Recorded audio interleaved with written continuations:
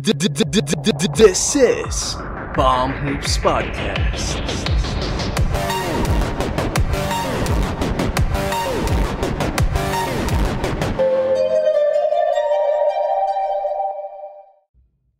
Hi everyone, we're Palm Hoops Podcast hosted by Jem and Jello and make sure to like, comment, share this video and subscribe. Click the notification bell to be updated on our newest releases.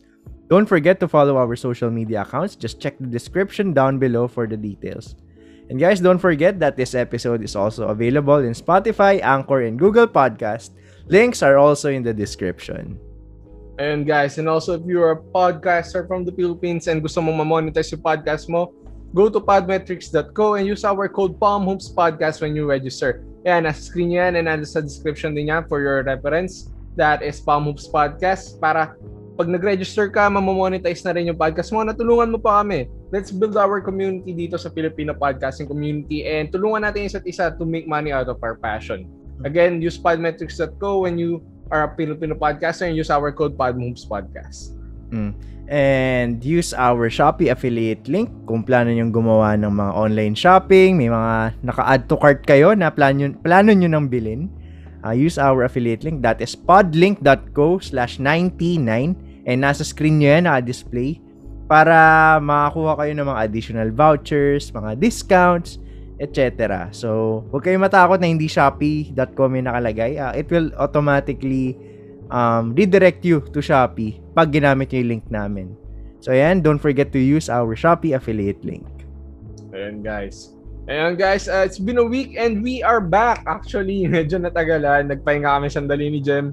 Uh, just needed to recharge a bit. Pero yun, we are back and this episode, we have something to celebrate, I guess. And it's the championship of the 2021 NBA Finals. Mm. At ang nanalo nga is no other than the Milwaukee Bucks. So, ayan.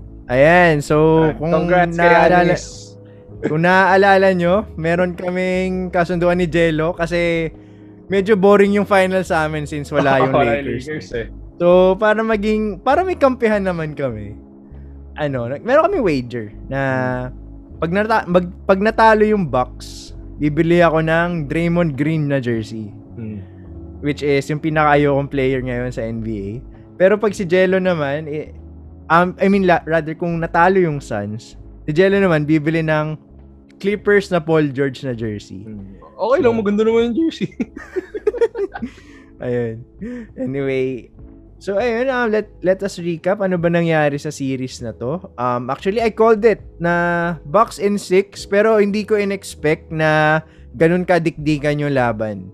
I expected na ano eh, na first few games, kontrolado ng Suns kasi understandable eh, may home court advantage sila eh. Pero ano eh, yung mga sinasabi ng mga tao, ng mga media na hindi daw nag adjust si Mike Budenholzer, scam yun. Kasi nakita naman natin yung adjustments eh. And siguro factor na din na yung recovery din ni Yanis kasi nung game 1 talagang medyo pahinay-hinay pa siya eh. Pero game 2 onwards, parang nag back to 100% na siya. Mm, grabe na yung performance na ginawa ni Giannis. Imagine, 50 points sa closing game ng series to win the finals MVP, di ba? Uh, Mm. the last player to score po- 50 points, I think, in the finals game was LeBron James in 2018. Oh, And that came in a loss. 4-0 yun. Oh, and Yun for yung J.R. Smith. Yun yung oh, J.R. Smith. J.R. Smith. So, for Giannis to do it in a series clinching game, grabe. Talagang all heart. Tsaka, ano, nakakabawi siya kay Chris Paul nung trash talk kay Chris Paul na he doesn't make his free throws by Oh. going 16 of Pare. 17. 17 of 19? Tama ba? Oh, parang ganun. Oh, 17 of 19. That is around 90%. So, ganyan. So, sa mga magiging kalaban ni Anis, wag nyo na lang galitin. Oo, wag kasi nyo na patulan. gumagaling. Kasi Wag nyo- gumagaling eh. Huwag niyong binibilangan, natutulungan. Oo. Parang ano nga eh. Sabi nga nung isa ko nakitang comment sa Twitter, yung binibilang daw nila is yung ano, magiging rings ni Yanis sa buong career niya. So, makakasampu siya. No, I baka doubt. mahabol I niya si ano. Ewan natin, pero let's see. Kasi at age 26, grabe na yung resume ni Yanis. Oo, oh, grabe. If he retired today, nasa Hall of Fame na siya. agad. Kasi ano, at age 26, he's a two-time MVP, He is a most improved player. He is a two-time ay, hindi, Hindi. One-time One-time defensive, defensive player of the year. Multiple time All-NBA tsaka multiple time All-Defensive. Mm. So, with that alone at age 26, I believe hindi pa na-achieve ni Jordan or LeBron yung ganyang kinds of ano, And he has accolades. something na wala si LeBron, yung Defensive Player of the Year. Mm. Na, well, LeBron came close and I think nanakawan nga siya Oo, ng ni Mark Gasol. Ni Mark Gasol. Pero, ano eh, um, si Yanis nakuha niya eh. So, Hmm. ayun. Basically nga si Yanis Antetokounmpo is LeBron James without the unlikable parts. mm. Parang ma, ano, malinis. Parang nung Oo. ginagawa siya ni Lord, hindi kita lalagyan ng kayabangan. oh. Eh, alam mo yung YouTuber na ano, yung... naglalagay ng yung naglalagay ng tubig. ayun. Walang ano, walang nilagay na kayabangan dun kay Yanis. Oo. Pero ganda rin kasi na ano eh, ng, ng storya ng buhay ng Antetokounmpo family eh, na ano sila, Street refugees sila. vendors. Oo. Tapos nakarating sila ng Greece. Nagbebenta sila ng CDs, ng mga cassettes. Mm. Grabe, grabe yung journey nila Yanis sa NBA. And then uh, all the three Antetokounmpos na nasa NBA ngayon, NBA champions na. Isa na lang yung wala pa sa NBA. Oh, yung wala pa sa and mukhang ano, ma- malakas na NBA prospect din si Alex Antetokounmpo. So, hindi malayong mangyari na mag-champion din siya. Oo. So, anyway, balik tayo sa series. I think given naman na yun eh na maganda yung magiging laro ni ano, ni Yanis. Maganda yung magiging laro nila Booker, nila Chris Paul, nila Chris Middleton. Pero ang naging story ng series na to is yung others. Ano ba nangyari nung game 1, games 1 and 2 kaya nanalo yung Ph- Phoenix Suns? Mainit yung ano eh, mainit yung role players ng Suns eh. oh, mainit, mainit si Cam Johnson, mainit Michael si. Michael Bridges. Nag 28 points pa si Bridges nung game 2. Tapos si DeAndre Ayton din, sobrang ganda Oo. nung laro nung f- first few games. Kaya marami nag-expect kay Bridges na actually mag ah, magtuloy-tuloy eh. Pero Hmm. ayun, doon na nag-factor in yung kung bakit sila role players and bakit hindi ganong kagalingan ng role players pag wala sa home court. Ah. tapos, ayun nga, um, initially, akala ko din, magiging game 7 to na puro home, home wins lang. Yung turning point talaga was, Games game 5. it started nung game 4. Ah, oo. Nung, grabe yung place ni Yanis noon. Tapos, sinamahan mo pa ng scoring ni Middleton. Middleton. Oo. Ayun, so, Mainit kasi si Middleton tsaka si ano na si Bu, si Drew nun eh. So, gra- naalala ko, ano, I was, ang naala, naabutan ko na lang doon, alam ko second half na lang ata, mga siguro 6 minutes remaining sa third quarter. Na-witness ko yung supalpal ni Yanis kay DeAndre Ayton. Talagang napatalon ako sa ano eh, sa couch namin. Tapos, yung isa pa yung, ano, yung alley-oop ni Drew Holiday. Mm. Sabi yun, na Drew Holiday to Yanis. Actually, yung part na yun sa replay ko na lang ata nakita. Na, ano, na Sobrang nipis ng execution eh. yung pagkapasa ni Drew Holiday, alam mo para kay Yanis. Oo. Kasi sobrang tulin, tsaka ang taas. So, parang pagkapasa niya, imposibleng may makaabot nun. Eh, si Chris Paul lang yung nasa harap niya. Oo. Eh, ayun. Wala na, finish na. Tsaka ano, half court pa lang nakikita mo na mag-develop yung play eh.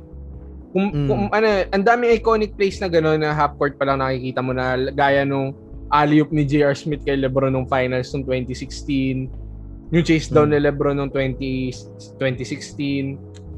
Ano pa ba yung mga ganong plays? Basta maraming mga ganong plays. Tsaka ano, may tagapagmana na si Lebron ng King of Chase Down Blocks. Oo. And mukhang si for me ah, parang mas effective pa yung ginagawa ni Yanis eh. Kasi sobrang haba niyang nilalang.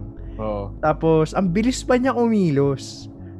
And to do that, nakakagaling mo lang sa hyperextended knee.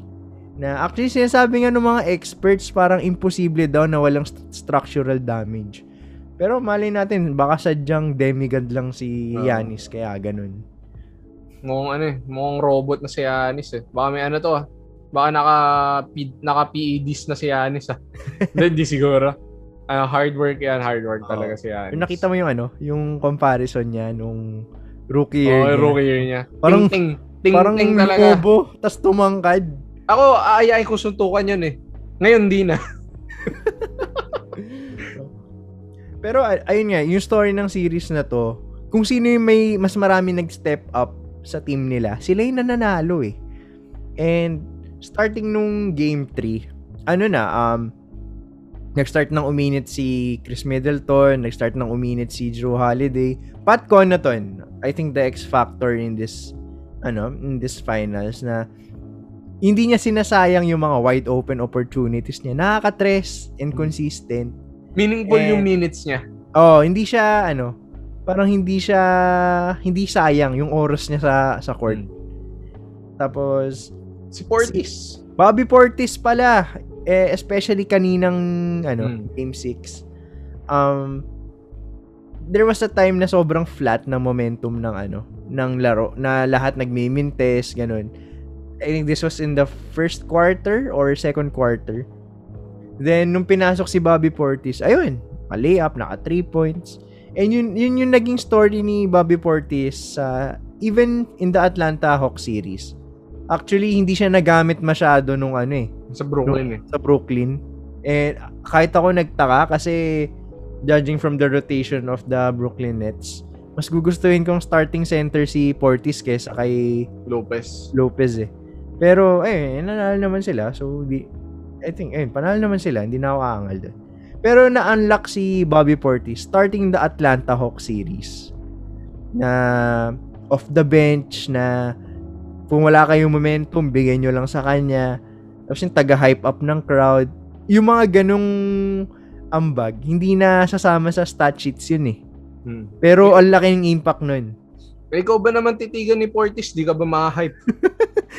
Natawa ako sa ano niya, sa pre-game routine. Parang bakit daw sobrang intense mong basketball player.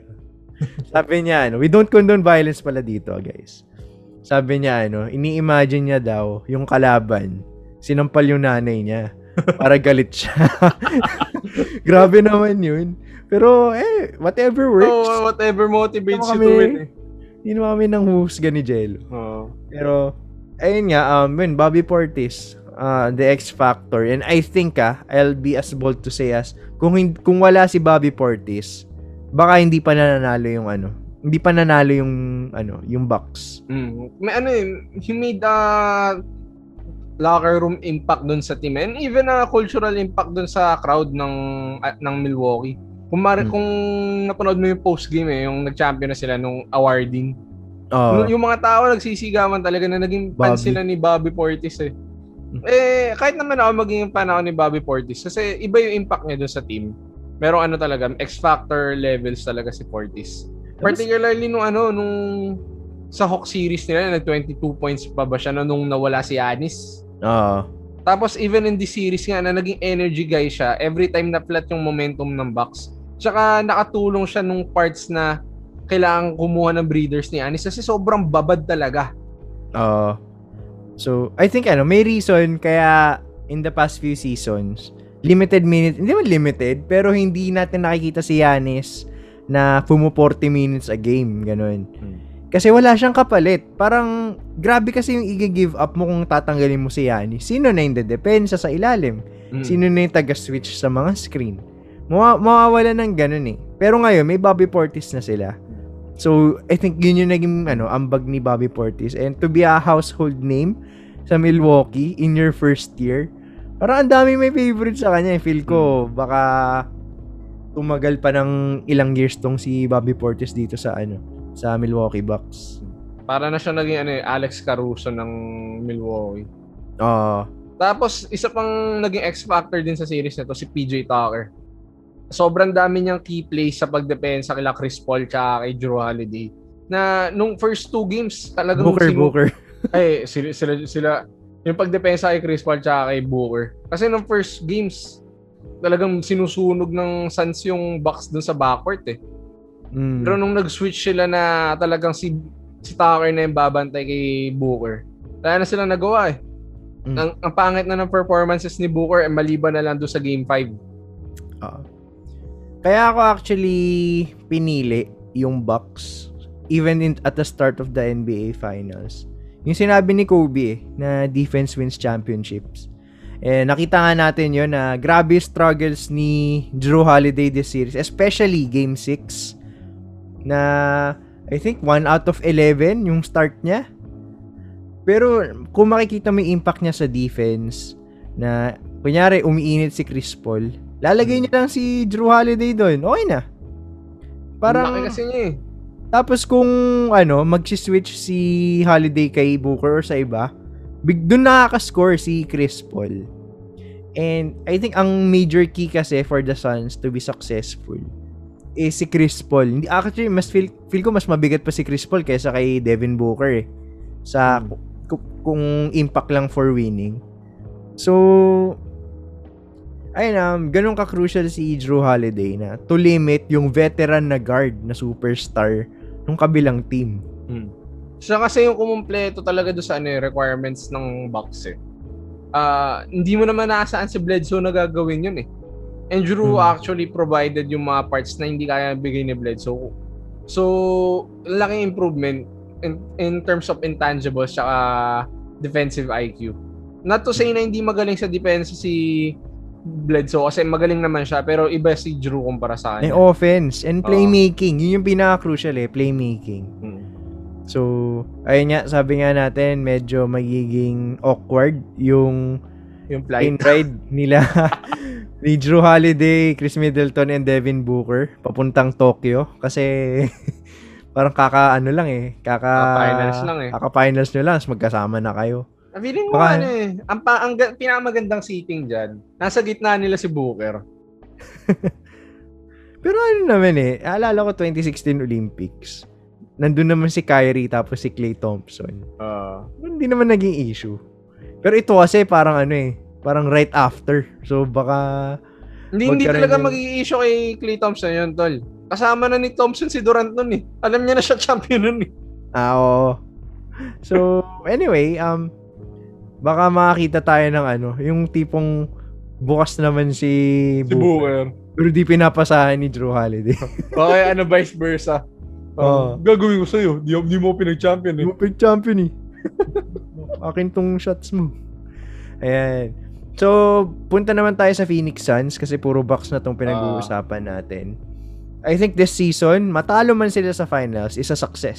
Successful season naman to. I Ah, think, in my opinion, they overachieved eh. Mm. I only expected them to be in the first or second round. Oh, Hindi and in-expect na, hindi, ano. hindi sila dapat two seed in my opinion. Well, Hmm. actually, deserve naman na mag two seed kasi they won the games. They actually won the games. Pero uh, if you think about it no start no season, they they didn't look like a team that would be a two seed. Parang mid mid-season sila Oo. umayos eh. Na Oo. doon na yung mga mga five game win streak, doon na nag-start. So, yung composition kasi ng team ng Suns, kumpleto eh. From guards to wings to defenders sa big men, kumpleto sila. So, parang makikita mo doon na ano, na may capability tumagal. And as Laker fans nga, honestly, I honestly expected the Lakers to win yung ano, yung Series. first first round series despite uh an siguro mga 50% LeBron and mga 25% na Anthony Davis. Kasi lumamang sila ng 2-1 noon eh. Akala ko tuloy-tuloy na. Pero nung na-injure si Anthony Davis, ay shucks. Hmm. Parang wala na to kasi ang lakas ni DeAndre Ayton eh. Hmm. Pero kung di siguro injured yung dalawa, I think it's the Lakers series to win talaga. Oo. Kasi ano eh, ah, di, if you look at it talaga, yung Bucks, ah yung Suns, ba't sila natalo sa Bucks? Maturity eh. Maturity eh. And So, ganun lang din ano, yung magiging concern kung healthy yung Lakers. Pero, Eh, ayun nga, kasi- nakalagpas naman yung Suns. And, since yung mga nakatapat nilang teams moving forward sa playoffs aren't as well tenured as compared to the Bucks or the Lakers, talagang kaya nilang umabot Tsaka ng ano, finals. um, injury played a factor talaga. Oo. Guys, I think naman kung nandun si Jamal Murray sa, Sa na- Denver, tatagal yun. I Tatagal think yun. baka umabot ng 7 games yun eh. Mm. Tapos, fact, ah, I think kayang manalo ng Nuggets doon kasi ganun kagaling si Jokic. Tapos nung conference finals naman, walang Kawhi Leonard eh. What do you Oo. expect? So, parang, pero that time kasi, ano na eh, parang nagkiklik na talaga yung Phoenix Suns eh. So, I can argue na kahit nandun si Kawhi, Hmm. may palag. I'm not saying na matatalo sila or mananalo, pero I expect them It to would have be a better series. long series, yeah. Oo. So, ayan, pero moving forward, ano bang kailangan gawin net netong Suns? Should they just implode, run it back? Run it back, run it back. Yung best case is they should run it back. Check for other pieces. Probably do sa sa front court. Kasi walang backup si ano eh. Si Eaton eh. Meron silang isa ngayon, pang, nakalimutan ko yung pangalan niya. Si Jalen, ano ba yun?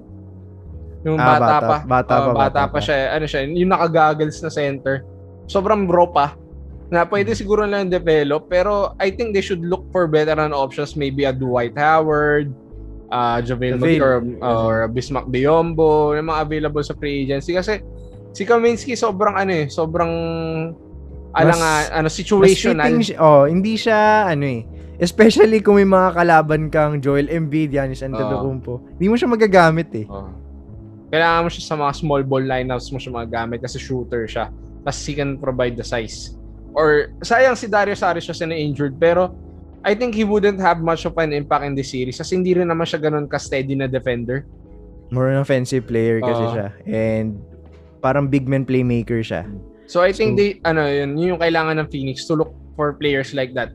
Who knows, maybe Ibaka opts out of his contract and Mm. he goes to the Phoenix Suns. Ang malaking bagay yun.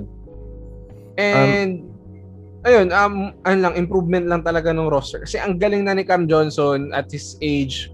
Uh, he's playing great in his role. Same for Michael Bridges. I think Michael Bridges can be as all-star Mm. in a few years. Yung mga ano, 2 to 3 years. Kasi remember, champion, ano yun, champion player sa Villanova yung si, ano, si Michael Bridges. So, sanay yan sa culture of winning. Hmm. And with Monty Williams as your coach, panatag ako eh. Kasi they started last year eh, na akala nga natin magpe-playoffs pa yung Phoenix Suns eh. And who knows, baka nung time na yun, pumalag sila sa Lakers. Eh, Mm. kaso di nangyari. So, eh parang ano, ang ganda ng build-up ng Suns leading to this year. For me naman, they should just run it back. Ang main concern nila dito, si Chris Paul. Kasi, Chris Paul, I think if I were him, mas practical na mag-ring chase ngayon eh. Kasi nakailang teams na ako na ano, na nag-playoffs pero hindi naman naging successful. Para napunta napunta siya sa Houston Rockets na sadly kinapos tapos na-injure pa siya. Tapos napunta siya ng OKC na hindi naman talaga meant to be mag-playoffs last year. I think that was a fluke to be honest na umabot sila ng 7th seed tama ba? 7. Mm. Hindi, ng 5th seed pala, sorry. Akala ko maging rebuilding team sila pero they proved me wrong na ano, nakaya nila. Tapos, nung napunta siya ng Phoenix Suns, no one expected them to be a contender. Perhaps a playoff team for sure. Pero, yung talaga magpa-finals, hindi ko rin in-expect eh. So, with that, um, i they, they should just run it back. Ang main, number one priority nila is keeping Chris Paul. Kasi from the reports, ang alam ko, naghahanap ng multi-year deal tong si Chris Paul. eh. At his Hmm. age, hindi ko alam sino magbibigay nun sa kanya. Hmm. I think he can still get a three-year deal. Ang magiging concern na lang dyan is how much. Mm. Ah, kung ako siguro yung team, I'd pay him around 20 million a year. And that's about it. Hindi na ako tataas ng 30 kasi that would put you in a really tough spot. And kung ring chasing, bihira yung teams na kaya magbigay sa kanya ng ganong contract. Mm. And yung naisip ko nga Brooklyn Nets pero Ang gagawin wala nam I mean ano, wala naman ng cap space yung ano eh Brooklyn. Tsaka magiging six man siya behind Oo, Kyrie. Kyrie. Hindi po, hindi, Hindi, pwede. pwede. The Sobrang Sixers naman, Sa Sixers, okay sana. Kaso, would it be worth it for the Sixers to do it? A Ben Simmons for Chris Paul trade. Lugi Um, eh. Lug, ako for me ah, lugi yung Sixers. Oh, lugi yung Kasi Sixers. bata pa si, si ano eh, Ben Simmons, si ano, si Chris Paul, though wala pa siya nakikitang signs of aging.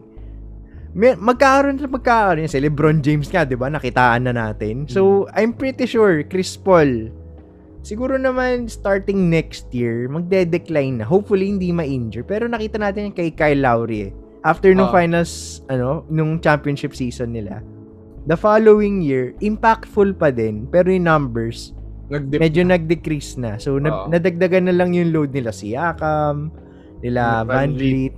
Eh, and, so, ayun nga, um, I expect the Phoenix Suns to, if they ever, if ever na-resign nila si Chris Paul, na bababa yung role niya, pero it means na more touches for DeAndre Ayton, more touches for Devin Booker, Cam Johnson, um, Sky Michael Bridges. So, I think if the Suns run it back, kaya nila mag-finals next year. So, yun. With that said, tol, uh, sa tingin mo ba, this would be a finals rematch by next year? Ako kasi hindi eh. Malabo, malabo, to be honest. Kasi, assuming nga na 100% healthy, which never happens, by the way. lagi, lagi meron at merong injured dyan. Parang lahat nga ng finals may ano, asterisk dahil Oh, lagi sa mga injury na yun. eh. Wala nang, parang kahit kila Jordan ata, may mga asterisk pa yun eh. Oo. So,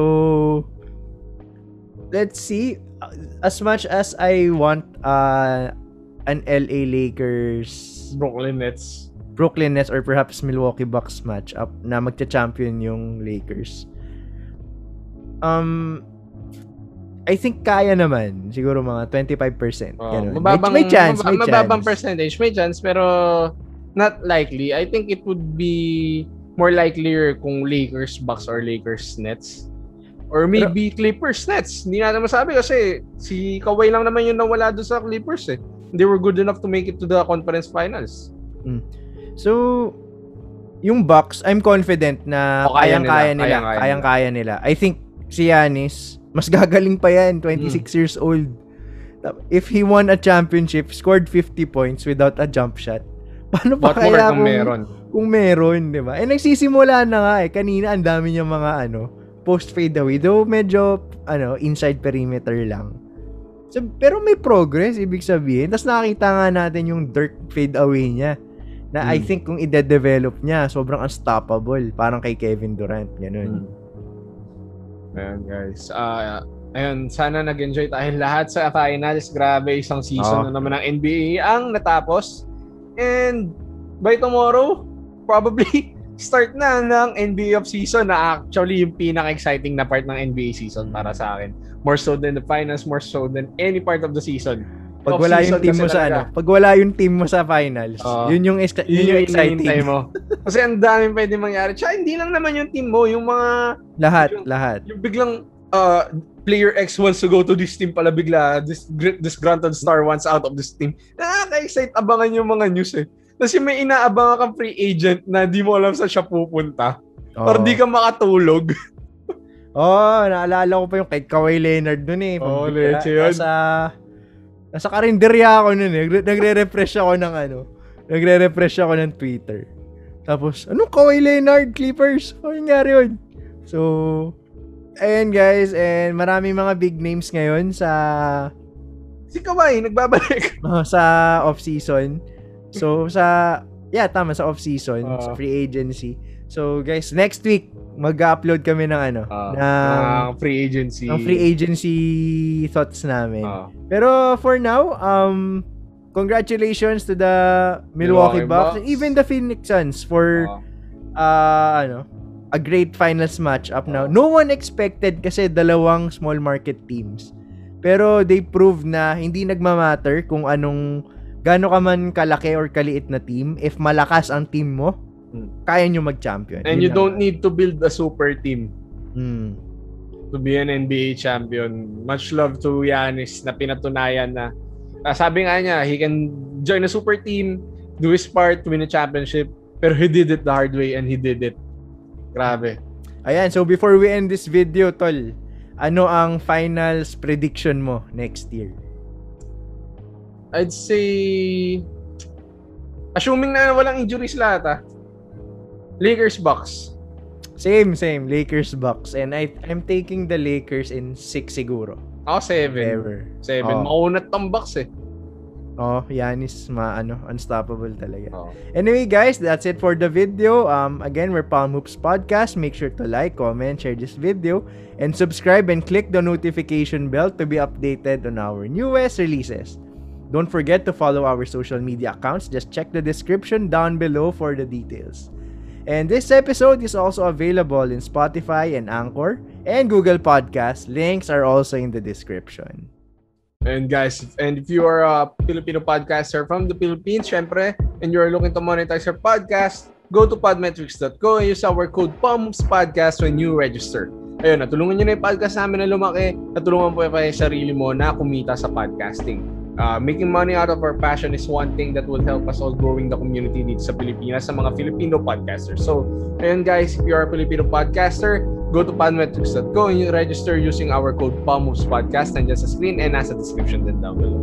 And lastly, if you're planning to do some online shopping, use our Shopee affiliate link that is currently flashed on your screen right now. That is podlink.co slash 99. So if you use our affiliate link, you'll be able to enjoy additional perks such as discounts, cashbacks, um, free shipping vouchers, etc. So, and don't forget to use our link para natulungan nyo na na lumaki yung podcast namin. At the same time, matutulungan din namin kayo makatip- makatipid ng ilang pesos. So, ayun, um, beneficial naman sa ating dalawa or sa ating dalawa. Sa atin na eh nga, natulungan nyo yung channel namin and matutulungan din namin kayo. So, there's actually no reason para hindi nyo gamitin yung affiliate link namin. So yun guys, again, uh, we are back this week. Nagpahinga lang ako konti. Again, my name is Jello. This is my partner Jen. And this is Palmus Podcast. We'll see you guys in the next episode. Yeah. Congratulations, Bucks! Yep. Giannis MVP.